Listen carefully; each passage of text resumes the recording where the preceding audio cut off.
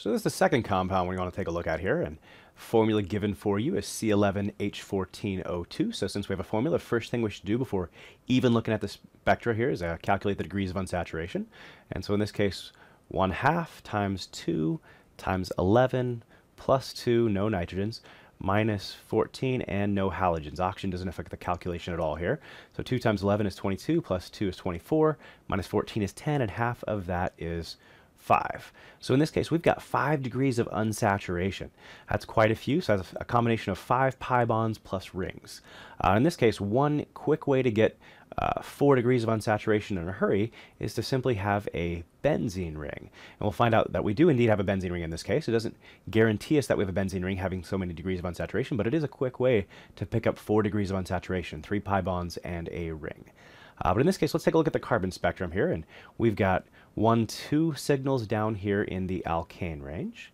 We've got four signals here in the aromatic range, so the benzene range. And then finally, we've got this carbon down here, downfield of 160. That's a carbon double bonded to an oxygen. So in this case, again, seven total signals, two alkane, four aromatic, one carbonyl. That's what we're dealing with here. Uh, if we look then at the HNMR, we've got a total of four signals.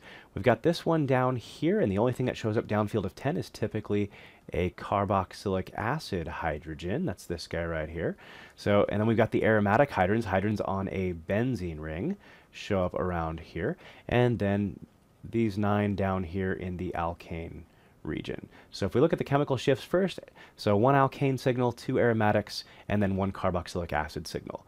Uh, if we take a look at the integrations, and again, uh, these have been done for you, a common practice on an exam, it's a 1 to 2 to 2 to 9 ratio, and that adds up to a grand total of 14. So it actually is the exact number of ratio of hydrogens, not just like the most reduced whole number uh, or something of that sort. So in this 1 to 2 to 2 to 9 ratio, um, I'm going to deal with the alkane region first again. In this case, I like looking for methyl groups first, but in this case, we only have one signal in the alkane region, and it represents 9 H's, which just happens to be a multiple of 3. And so the question is, how do we get 9 equivalent H's? Well, we get 3 equivalent methyl groups is the easiest way. So, and in this case, the easiest way to get 3 equivalent methyl groups is to have them all attached to the same carbon that's capable of undergoing free rotation. Now it's not the only way. Technically, we have we could have like a three threefold rotational symmetry or something like that, but that's way less common. Not impossible, but way less common. Uh, and so in this case, I'm going to start here. If this doesn't work, I'll switch to trying something with threefold rotational symmetry. But again, this is much more common, just attaching them to the same carbon capable of free rotation. Uh, so these three methyl groups, we see that we've got a single peak, it's a singlet, and so neighbors plus 1 equals peak, so the number of neighbors must be 0. So this adjacent carbon has no hydrogens attached to it, and in fact we could have predicted that. It's only got one bond left, and I make it to a hydrogen, then there's no way to attach it, this you know, fragment of the molecule, to anything else. Now one thing to know, I can't make this fragment any bigger. So when you are assembling a puzzle, let's say, uh, if I decide to give you 20 pieces a day of a 1,000 piece puzzle for the next 50 days, um, not a great way to do it. The first day, day one, you get 20 pieces out of a 1,000, they may not even go together, and you may just like be like, I'm waiting until a few days from now to start even putting this together. Uh, the idea is same here. Until you have all your fragments on the table, if you don't know two fragments are connected, don't put them together until you have all the fragments, all your puzzle pieces, so to speak, uh, in front of you. So in this case, this is just one fragment, this T-butyl group here. Let's move on. So notice we already know one other fragment as well. It's kind of implied, but let's talk about it explicitly, and that's the carboxylic acid uh, peak we've got, again, just by having this signal down here at 12. So, and it's got one more bond to make as well. And then we've got to deal with this aromatic region. So in this case, if you look at plain old benzene, now plain old benzene, so don't forget that the pi electrons here are never going to throw off the symmetry. It's really delocalized around the whole ring. But plain old benzene would actually have six hydrogens, one for each carbon. Our benzene is only going to have a total of four hydrogens, which means it's going to have two substituents coming off it. And if we take a look at the next slide, we'll see that there's three ways of actually accomplishing that. So if we take a closer look here having two substituents coming off our benzene, and for this case, I'm going to assume it's two different substituents. If they were identical, we'd have more symmetry than I'm going to imply here, but in this case, I have an X and a Y. That just implies they're different. So, and in this case, we have three different patterns. Now, this one's called ortho disubstituted when they're on adjacent carbons. And if we look, there's no symmetry in this benzene at all. And so every single one of these hydrogens would be its own signal.